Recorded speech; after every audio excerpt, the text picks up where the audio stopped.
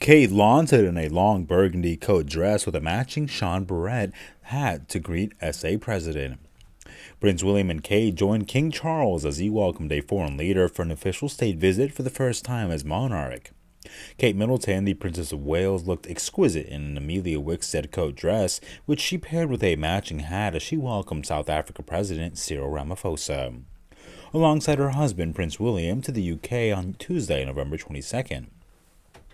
Kate greeted Ramaphosa before leaving her for the Horse Guards parade to regard a welcoming ceremony along with King Charles and Queen Consort Camilla.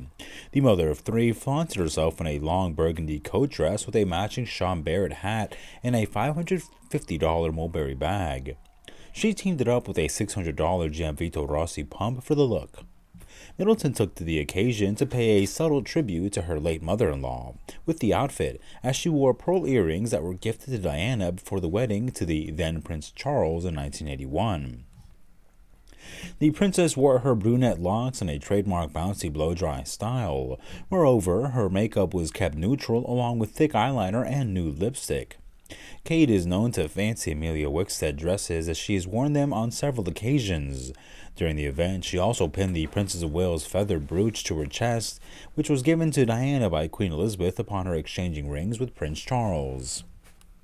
Diana's favorite Collingwood earrings, which she sported on royal tours of Australia, Canada, and Italy, feature a teardrop shaped diamond stud that is attached to an additional round diamond and a bell cap set with three more rows of small diamonds. The bell caps each hold a pearl drop.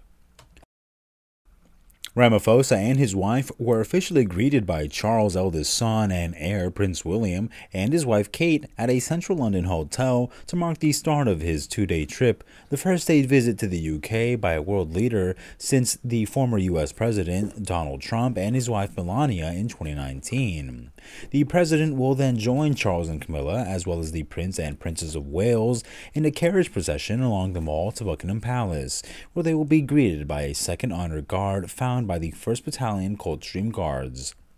More than 1,000 soldiers and 230 horses lined up on a chilly Horse Guards parade to mark the beginning of Cyril Ramaphosa's two day stay.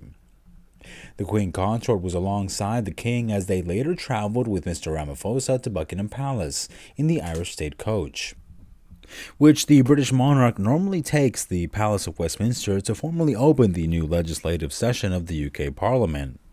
The Prince and Princess of Wales followed in the Australian state coach with Dr. Naledi Pandor, the South African Minister of International Relations. After a private lunch at Buckingham Palace, the King will invite Mr. Ramaphosa to view an exhibition at the picture gallery of items from the royal collection relating to South Africa.